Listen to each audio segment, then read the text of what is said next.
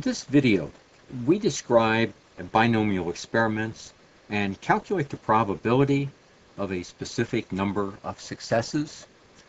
Now, a binomial experiment uh, has two outcomes.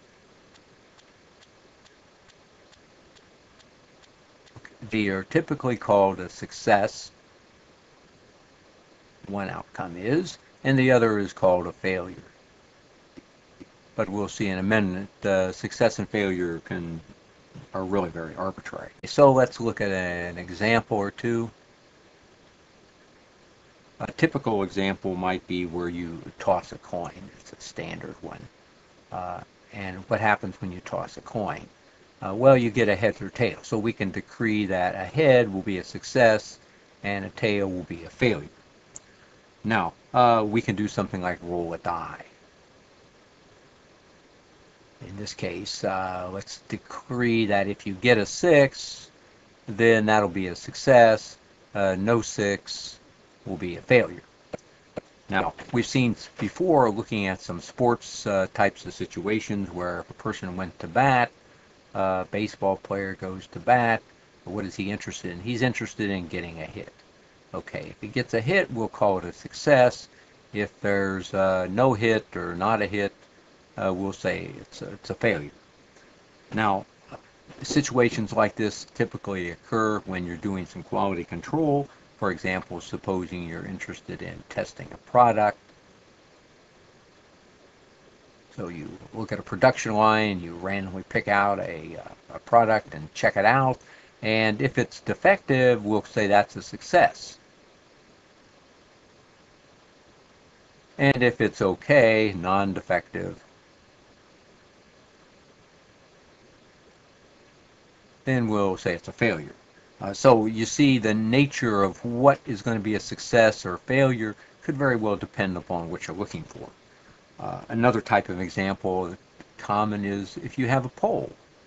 People are constructing a poll about asking a question and we want to make sure there's only two outcomes. So if, uh, if the question is so that we look at a yes answer or vote for my candidate versus a no answer or vote for the other candidate or something like that, then we'll have two uh, types of outcomes.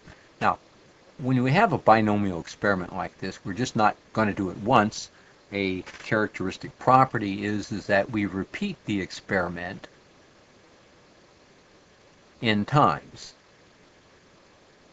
And then the n here is called the in the number of trials.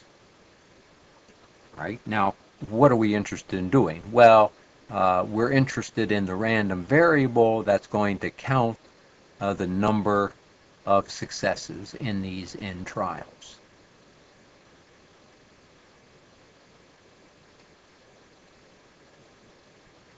So for example, if we toss a coin five times, we might be interested in counting the number of heads that we get. If we go to bat uh, five times in a baseball game, we might be interested in the number of hits. If we're going to poll a thousand people, we're going to be interested in the number of yes answers.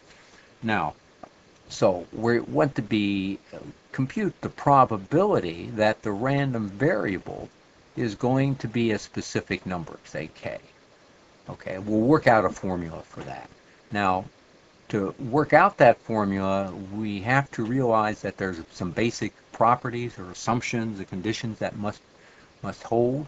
Uh, the first one we already know is that the, the experiment has to have exactly two outcomes. Okay, now a second one, may not quite be so obvious, is that when we repeat these n trials, each trial has got to be independent.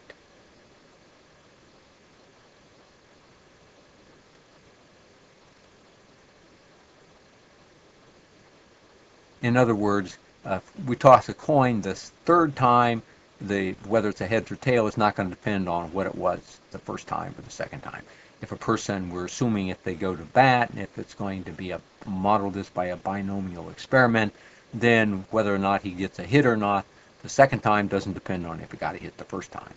Now, the third condition which must be met here is that the probability of success in each trial is going to be the same.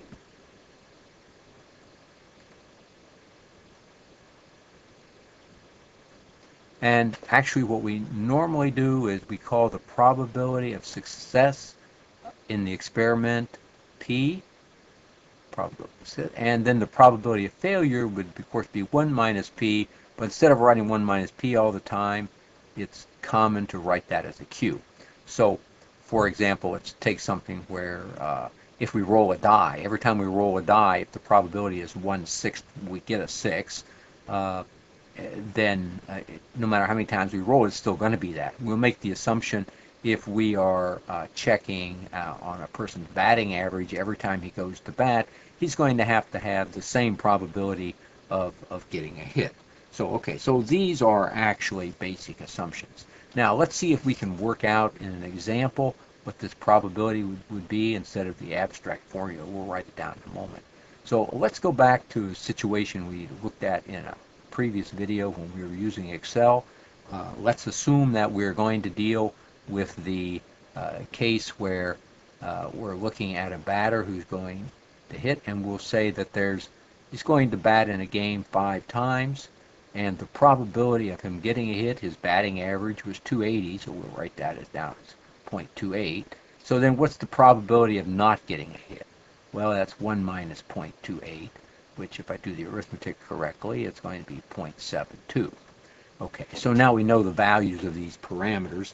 Let's see if we can work out uh, what the probability of getting exactly two hits is going to be. Okay, so if we, in five at-bats. So if we've got the five at-bats here, well, if we're going to get two hits, uh, where's he going to get those hits? It could be the first and the third place, or the, the second and the third at bat. So we've got to somehow select select the two places, two positions where he gets a hit. Well, how many ways can that be done? Well, that can be done in the combination of five positions, choose two. Okay, so for the heck, arbitrary, we'll say he gets it in the first and the third place. Okay, and there's of course 10, uh, we know from computing combinations, there's 10 uh, ways that this will happen. Now, uh, let's take a look at what happens here. Probability of getting a hit is what? Well, we assumed it was going to be P here. Okay, and because we know the probability of success is going to be the same for each trial, the second time he goes to bat, the probability of getting a hit is going to be P, but we don't want him to get a hit there, so that's going to be 1 minus P, or Q, would be the probability of that second one. Uh, the third time, because it's the probability of success is going to be the same in each trial, would be P again. And the probability of not getting a hit the next time would be Q. And finally, Q is the probability of not getting a hit on the last at bat. So here we have one of the 10 sequences where he gets a hit, not a hit, and then a hit, and not a hit, and not a hit. So how do we calculate the probability of this particular sequence? Well, here we want to use the fact that the trials are independent. Okay, and what does that mean? That means that if the joint probability of two things happening, getting a hit and not getting a hit, getting a hit, etc., is going to be the product of the probabilities. So this works out to be what? It's going to be the probability of success, which was 0.28, uh, times, twice, because there were two, two hits, times the probability of not getting a hit, which was 0.72, raised to the third power. Okay, so we just have to calculate out what that means. We can maybe do that with the calculator, simplifying things a little bit here. Uh, we'll just take it up front, 10, because we've already calculated the combination, times 0.28 raised to the second power times 0.72 raised to the third power. All right, so that's going to be a little over 29%. So that would be for later purposes 0.29, I think it was 26. Okay, so there we see how that works. Now, let's take a look now at the general formula here. How did we actually do this? The first number here, we had to look at the combination of the way we picked out the k places were among the n where we had successes. So that's going to be combinations of n choose k, and on each of the k places where there was a success, the probability of success was p, so that will be p to the kth power. And then on the remaining places, uh, there was a failure, so there should be n minus k uh, places where we had a failure. Okay, and so this gives the standard formula here for calculating the probability of uh, k successes in n trials. Okay, we'll continue this in the next video.